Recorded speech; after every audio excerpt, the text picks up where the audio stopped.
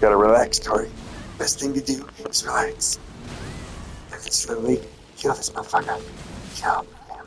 Fuck!